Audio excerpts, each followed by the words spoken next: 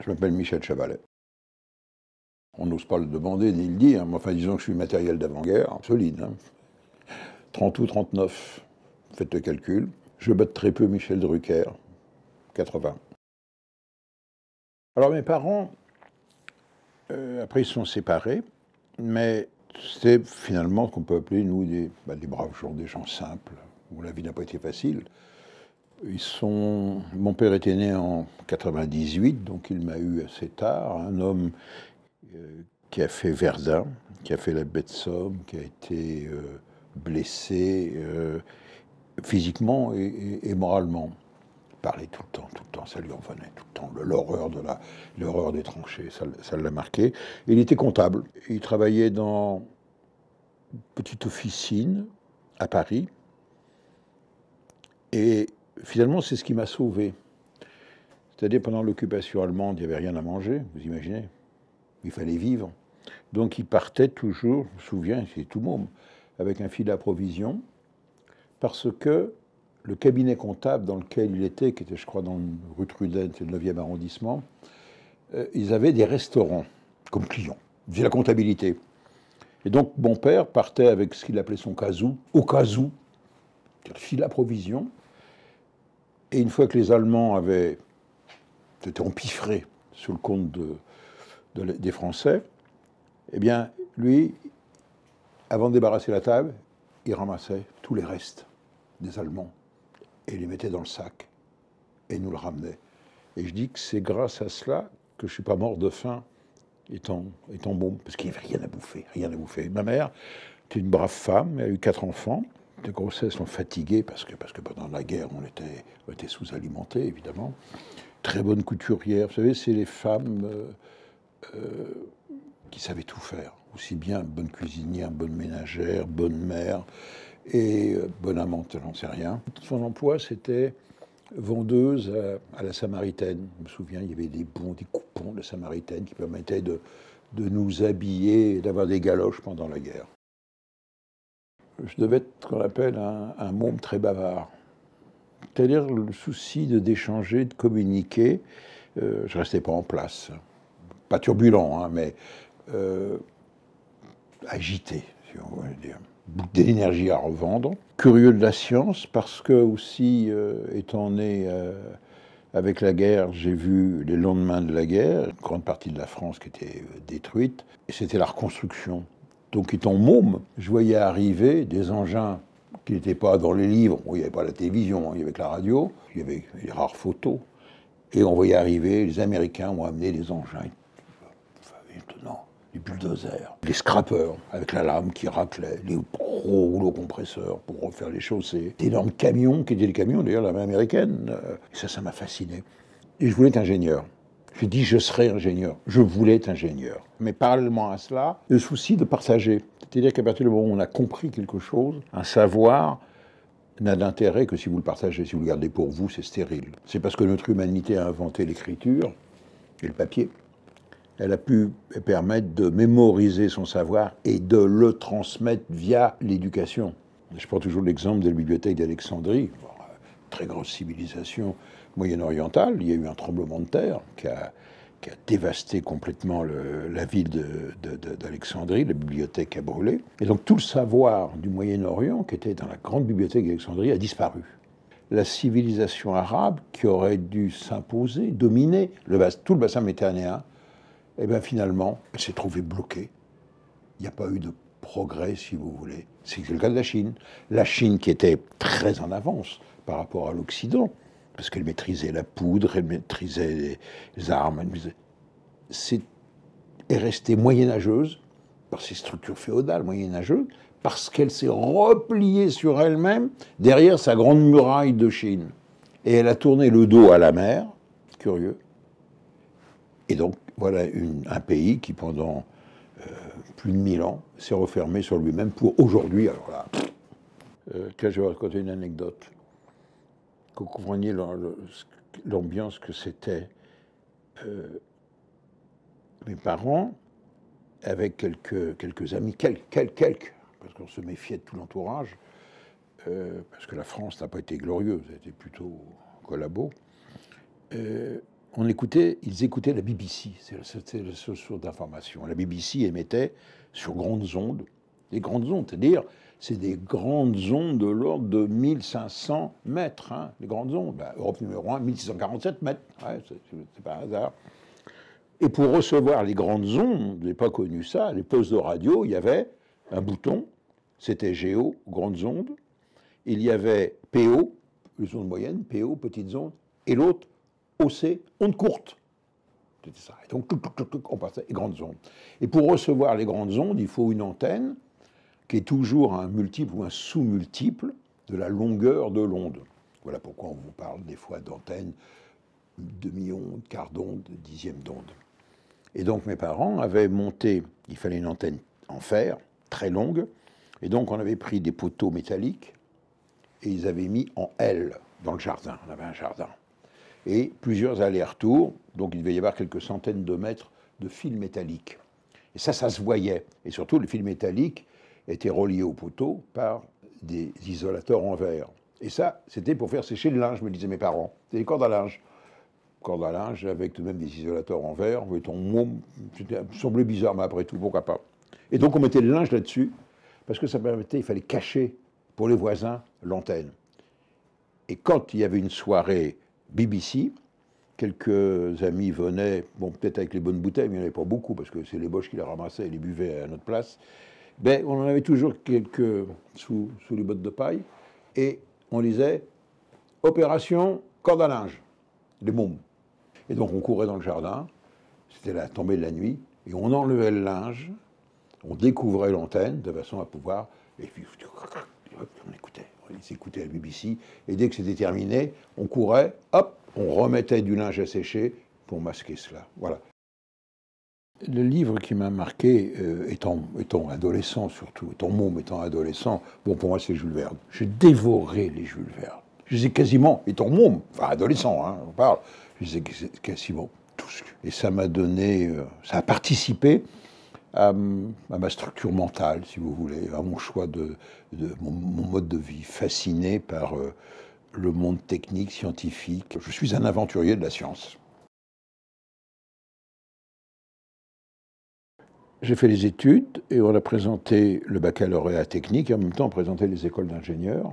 Donc j'ai eu mon deuxième bac et mon concours d'entrée dans l'école d'ingénieurs et donc euh, j'ai dit ben voilà, c'est on y va. Allez, tête baissée, on fond, tant mieux. Je suis déjà arrivé là. Trois ans, une année à Paris, des stages dans l'industrie, euh, l'air liquide, des tréfileries du Havre. Euh, puis à la SNCF, parce que comme on habitait le long d'une voie ferrée, ben, j'aimais les trains et ça m'a toujours passionné, les chemins de fer. C'était les trains à vapeur, après sont arrivés les diesels, puis après l'électrification. Et donc j'ai fait des stages de conduite à la SNCF. J'ai appris à conduire les trains, la signalisation, euh, ce qui me sert beaucoup dans mon, dans mon métier de journaliste. Mais parallèlement à ça, toujours le souci de la communication, j'ai postulé à Europe numéro 1 qui venait de naître pour euh, une émission Europe Jeunesse où des jeunes parlaient au micro, enfin de leur vie, et euh, avait écrit, ouais, ouais, c'est très bien, euh, vous cherchez, voilà, moi je suis intéressé par la science. Ah ben, je voudrais raconter des histoires euh, scientifiques. Euh, ah bon De bouteilles à la mer. Eh ben, rue François 1er. Eh ben, j'ai reçu une lettre parce qu'il n'y a pas le téléphone. Mes parents n'ont pas le téléphone, évidemment. Et voilà, ben, vous voyez, merci. Euh, je m'appelle Pierre Sisser, je, suis le présentateur et le producteur avec Guy Montassu. Veuillez vous présenter. 26 euh, bis rue François 1er, Europe numéro 1 à 17h ou 16h, 17h, le jeudi après-midi, parce que à l'époque, c'était, c'était pas le mercredi, c'était le jeudi après-midi. Et voilà. Et donc, j'ai passé une audition et, et j'étais retenu. Et donc, j'avais une autorisation, j'étais en seconde à ce moment-là, du lycée, pour quitter le lycée plus tôt pour aller faire de la radio à, Europe 1, vous voyez, déjà. Ça a été... Et là, ça m'a donné le goût euh, encore plus fort de la communication, parce que j'avais un outil, un moyen euh, énorme. Et donc, euh, j'ai dit, ben, je vais écrire aussi. Et ce qui m'a amené plus tard à écrire euh, dans Sciences et Avenir, de faire mon service militaire parce que je l'ai fait, mon petit monsieur, moi, je l'ai fait, au service d'information du ministère des Armées. Euh, la Tour Maubourg, c'est le journal TAM, certains se souviennent, Terre-Mer. Et il cherchait un, rédacteur scientifique. Et donc là, j'ai touché la science, la très belle science, c'est-à-dire les, labos de recherche de l'armée, contigus avec le, civil. On était en 60, les années 60. Moi, j'ai fait mon service en 66. C'était euh, les débuts de la force de frappe, c'est-à-dire le début des, explosions nucléaires. J'ai vu, j'ai vu les premières. Les débuts de l'espace, eh oui, le spatial, les premières fusées sondes à Maguire. Et donc, tout en faisant mon service militaire, j'ai côtoyé les grands de la communication scientifique de l'époque. Ils n'étaient pas nombreux, hein, il y en avait cinq. Et François de Closet, qui était sur la première chaîne de télévision. Je n'avais pas la télé à l'époque. Hein, je ne le savais pas. Albert Ducrot, à Europe numéro 1, Bébert la Science, très très grand. Lucien Barnier à Radio Luxembourg, pas RTL, Radio Luxembourg. Et puis Serge Berg à l'AFP et Pierre de Latil au Figaro. Voilà, c'était les grands de la communication scientifique. Et donc, ça m'a permis de rentrer par la pointe des pieds. Moi, j'étais jeune étudiant, jeune prof. Et là, j'avais dit, bon, je veux être journaliste. Et journaliste scientifique. Et là, pour employer un terme ferroviaire, on a fait l'aiguillage et j'ai bifurqué. Et j'ai abandonné l'éducation nationale. Bon, elle, ne m'aimait pas beaucoup d'ailleurs, c'était sans regret. J'ai quasiment, dans ma carrière de journaliste scientifique, fait tout ce dont je pouvais rêver. J'ai côtoyé les plus grands. Il y a deux choses de ratage. François Mitterrand voulait que je parte dans l'espace, faire de moi un astronaute. Très brièvement, il y avait une réception à, l'Élysée. Le président de la République, c'était mon copain Michel Tonini, qui était dans la station Mir, euh, station russe à l'époque, soviétique.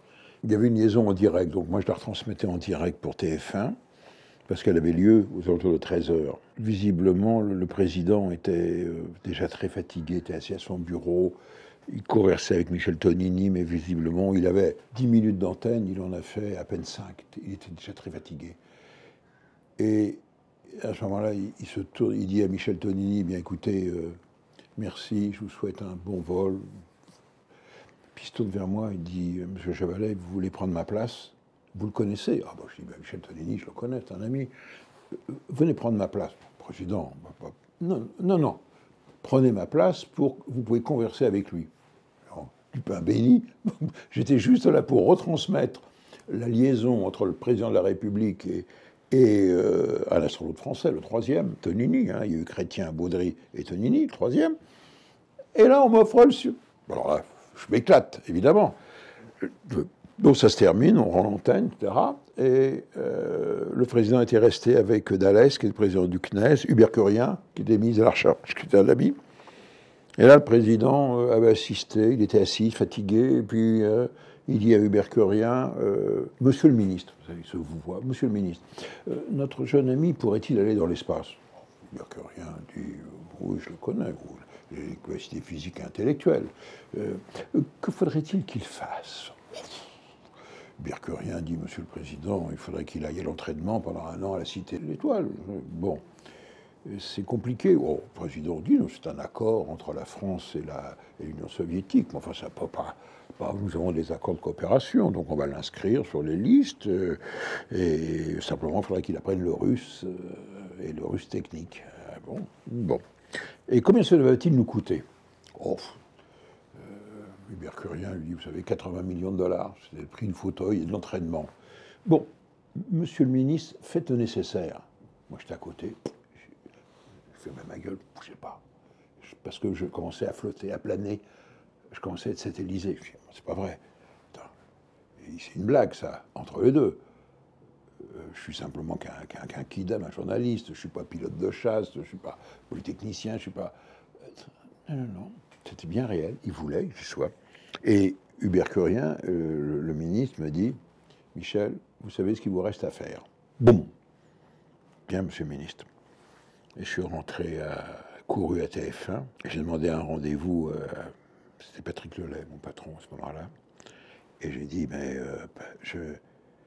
Il faut, faut, faut, faut, que je voie la secrétaire. Non, non, Michel, on ne va pas le déranger. Dis-lui que je pars dans l'espace. Je pars dans l'espace. Le président de la République le veut. Oh, les portes s'ouvrent, vous serez payé par TF1, il n'y a aucun problème, tout. Je veux des reportages en direct, mais vous les aurez. Ah, il n'y a qu'une seule chose, je voudrais avoir le logo TF1 en orbite, débrouillez-vous, Chevalet. Eh bien, ça ne s'est pas fait. Trois mois après, le président de la République euh, bah, arrêtait, était très, très, très malade, et partait à Latché. Et puis le deuxième, ça a été un ratage de TF1. Philippe Gildas, qui était à Canal, qui était un marin, et un breton, Gildas, euh, m'appelle et me dit Dis non, Michel, euh, on va te mettre au courant, il y a une expédition scientifique qui se fait. Nous, Canal, sont des partenaires. Avec les Américains, il va y avoir une plongée sur le Titanic. La France fournit un bathyscaphe, il y a un autre américain. Donc c'est une coproduction franco-américaine. Le seul journaliste qui, qui connaisse la technique et qui a une certaine notoriété, on a pensé à toi. Ils sont venus voir mon bureau, là, je dois embrasser. Je dis, mais attends, tu, je rêve? Non, non, non. On va, il m'explique, tout était préparé sur le Titanic. Et là, il y avait un, grand professionnel, je tairai son nom. Quand je lui ai annoncé ça, il m'a dit, aucun intérêt. Il fait noir au fond de l'eau, on voit rien. On va rien voir. C'est pas la peine, c'est une connerie ce truc-là. Non, non, non, on n'y va pas. Pardon? Non, non, non, non, non, non. Et la suite, vous pouvez la vérifier si vous achetez le livre de mon amie, de ma copine Brigitte Reynaldi, qui était la correspondante d'Europe 1 à Nice. Elle est toujours, en retraite, Brigitte. Je lui ai fait le plus beau cadeau de sa vie. J'ai appelé Brigitte, parce que le Bathyscaphe était basé à Toulon. Et j'ai dit, ma Brigitte, t'es assise, je devais partir pour plonger sur le Titanic dans 15 euh, jours au large de Terre-Neuve. Ils ont retrouvé ces Américains Ballard, je lui explique tout. Euh, Canal, a négocié, Canal fait une émission, je besoin d'un journaliste qui raconte, qui raconte l'aventure. Fascinant. On l'a jamais vu, le Titanic. On ne l'a jamais vu. Là, on va le voir. Ben, on m'a dit que ça n'avait pas d'intérêt. TF1 ne prend pas. Je t'offre ma place, mon fauteuil. Tu vas plonger sur le Titanic. Démerde-toi. C'est pas vrai. Oui. Elle est partie. Je me souviens de ses reportages en direct à l'Europe. Elle, a, fait un livre, elle a raconté ça. Et vous imaginez tout de même, euh, s'il y a bien une femme qui me saute au cou maintenant, je crois que c'est bien hein, ma copine Brigitte. C'est de réussir des choses qui sont impensables. C'est ça que j'aime bien, les grands défis. Peut-être celui dont je suis peut-être le plus fier, parce que ça a été le plus compliqué à mettre sur pied en 92, 92, vous voyez, avec les moyens de l'époque, attention, la technique de l'époque, ça a été de réaliser en direct le seul journaliste d'être sous la mer, à mi-chemin entre la France et l'Angleterre, et de faire le percement en direct du tunnel sous la Manche. C'est quelque chose tout de même. Hein. À l'époque, on n'avait pas les moyens d'aujourd'hui. Il y avait les grosses caméras. Eh bien, comme je suivais le chantier de très près, j'ai été, si vous voulez, euh, phagocyté, incorporé dans l'équipe du chantier. J'avais, je l'ai gardé, ma vareuse, mes bottes, mes gants, mon casque, ma lampe. Et je faisais partie, j'étais adopté par les ouvriers qui travaillaient, les techniciens au fond. J'allais sur les machines, sur les, grandes foreuses. Et c'est euh, Francis Bouygues qui, au cours d'un dîner, me dit Travaille bien, mes petits gars. Ah euh, oui, oui, président. Bon, eh ben, écoutez, moi, c'est bien, je, quand est-ce qu'ils vont percer? Bah, Je lui dis, vous savez, on attend, etc. Bon, eh bien, moi, je veux que ça se fasse chez moi. Enfin, sous-entendu, dirait Francis Bouygues, chez moi, TF1, c'est le patron de TF1. Et euh, Patrick Lelay, qui était à table, qui était patron de TF1, me dit, euh, bon, Michel, vous savez ce qu'il vous reste à faire Ok, Patrick. Et c'est-à-dire démonter une régie. Ça tenait avant, à l'époque, dans un car régie. Il se marre, lui, parce qu'il sait ce que c'est. La mettre sur les chariots, les petits trains de chantier, avec la boue. 17 km. On était la, jonction des deux machines, le dernier pan de craie qui devait tomber, hein, de, 2 mètres d'épaisseur. On avait injecté du, béton parce qu'il demandait qu'à s'écrouler. Il fallait que ça, s'écroule en direct devant, devant les caméras. Tiré de la fibre optique, la fer fabriquée. à l'époque, c'était pas celle qu'on met sur les trottoirs aujourd'hui. Hein. À 5 brins. 4 brins, un par caméra et un brin pour avoir le retour, euh, le téléphone à la surface et l'image, le retour antenne qu'on appelle. La poser la nuit sur le chantier, parmi les câbles à boue, parce que le tunnel était brut de fonderie, dans l'eau, tu dans l'eau, la boue, il n'y avait pas le train, il n'y avait rien. Faire fabriquer la fibre, là, je me suis souvenu que j'étais un ingénieur. La poser, l'essayer, amener la régie, nettoyer un peu, que ce soit à peu près propre, qu'on n'ait pas les pieds dans la boue au moment du direct.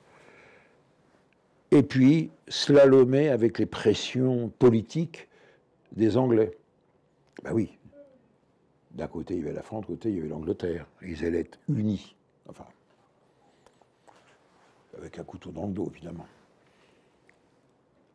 Et tout été verrouillé, parce que les Anglais ne voulaient pas payer, comme d'habitude, évidemment. Ça a coûté 2 millions de francs à l'époque, cette opération. Il a fallu trouver le sponsor, c'est Alcatel qui avait fait ça.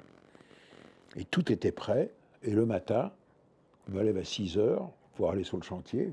L'émission était, ça devait être 12 heures en direct.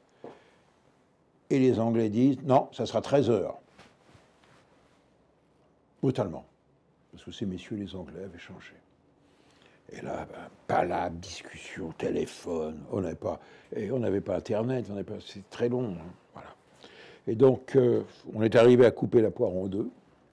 Vous allez sur euh, INA, vous voyez l'image du percement en direct, et c'est même l'heure est marquée. C'est à 12 heures, 12 minutes, je suis arrivé. Pourquoi? Pourquoi je suis arrivé à gratter un peu de temps On est à la barbe des Anglais? Parce que la source d'énergie des compresseurs qui devait abattre le dernier pont de craie, il y avait le tunnelier derrière qui attendait pour passer, ben, moi j'avais mis sous ma botte le tuyau d'air comprimé. C'est-à-dire comme c'est nous qui fournissions l'air comprimé pour les, pour les marteaux-piqueurs français et les marteaux-piqueurs anglais, les Anglais n'avaient pas d'air comprimé. Il était trop tard pour ramener un compresseur. Donc ça m'a permis de gagner du temps et de pouvoir, quand j'ai eu l'antenne, que j'ai entendu la régie, top Michel, c'est à toi, bonjour, je me trouve à mi-chemin entre la France et l'Angleterre, sous 40 mètres d'eau et 40 mètres de craie.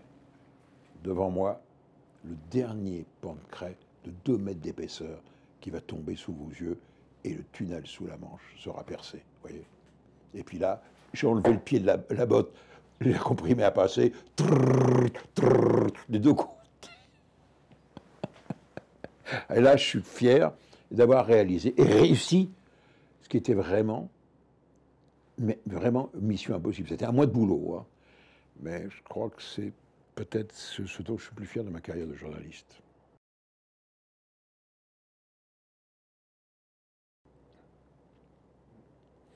Sur le plan affectif, peut-être, oui, parce que j'avoue que vous ne réussissez pas, si vous voulez, une carrière euh, de se dire je, veux réussir, je veux être le, meilleur, le plus fort, et être, euh, dans mon domaine, euh, avec François de Closet, d'être les, d'être le premier, le leader de, de l'information scientifique en France, avec un très gros service. À TF1, on était cinq. C'était le plus gros service scientifique d'Europe. Vous ne le faites pas euh, sans casse, c'est-à-dire au détriment d'une partie. On est comme tout le monde, hein. il faut dormir, il faut manger, il faut, se, faut avoir des loisirs. S'occuper, euh, j'ai deux garçons, vous ne pouvez pas le faire sans casse. Voilà. Et donc j'avoue que je n'ai pas euh, été le père idéal qu'il aurait fallu être, euh, c'est certain. C'est mon, plus grand regret. Mais on ne peut pas tout faire.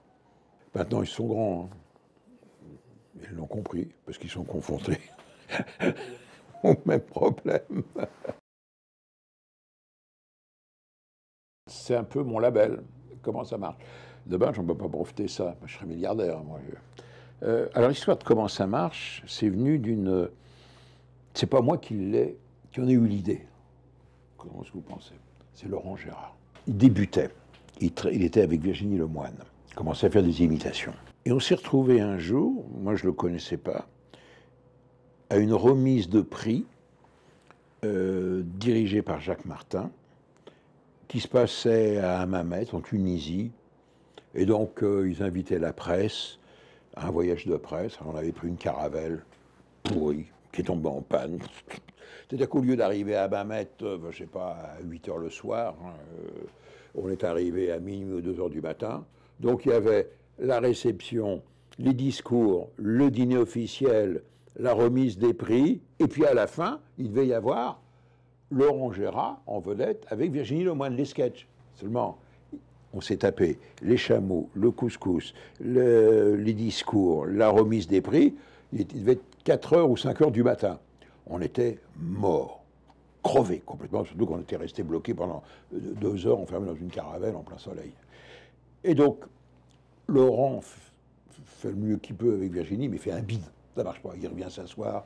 Et là, mon Laurent était déprimé. Il disait à Virginie, ça marche pas, j'abandonne, on va faut arrêter, ça va pas, tu vois, il s'écoute pas. C'est, dit, on lui explique, mais non, c'est bien, mais vu les circonstances, c'était pas les conditions idéales. Oh non, non, j'en ai marre. Puis euh, on discute un peu, puis il me dit, euh, ah puis un truc moi que j'aimerais bien vous faire dans les imitations, c'est marrant, vous, vous avez une voix un peu particulière, et puis vous avez des tics. Donc des gens qui ont quelque chose d'autre, évidemment pour, pour, caricature, c'est une caricature. Et, il me dit, bah, vous dites tout le temps comment ça marche. Ah bon? Et j'en ai pas pris conscience, je le faisais, évidemment, à la télévision. Et je faisais surtout des émissions pour la jeunesse. Comment ça marche? Il me dit, est-ce que je peux le mettre dans mes sketchs? Oui, bien sûr, un grand plaisir.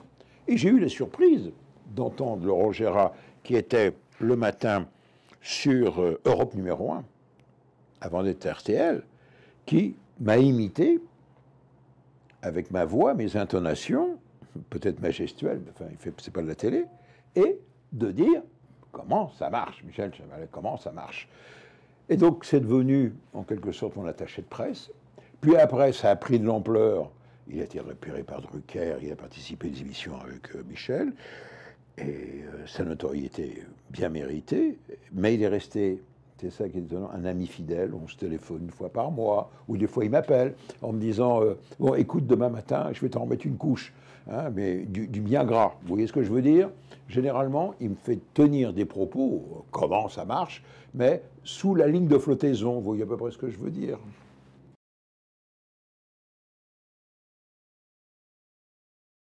Je rêve toujours.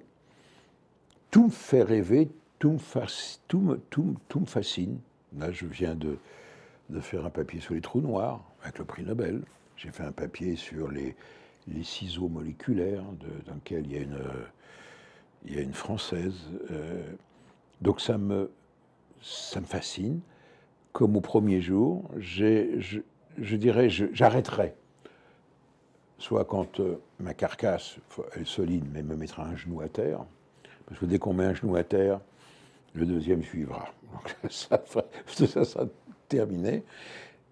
Et puis, surtout, lorsque je perdrai ma passion, mon enthousiasme de, de la découverte, de ne plus m'étonner du monde qui m'entoure. Tout, tout, tout me fascine. Et même vous, quand vous m'avez demandé, est-ce que ben, ça me ferait très plaisir si vous, un jour vous veniez me raconter un peu une petite partie de votre vie, je le fais pas souvent. Je crois que c'est la deuxième fois que je le fais devant une caméra. Mais voilà, mais c'est un grand plaisir, mon cher.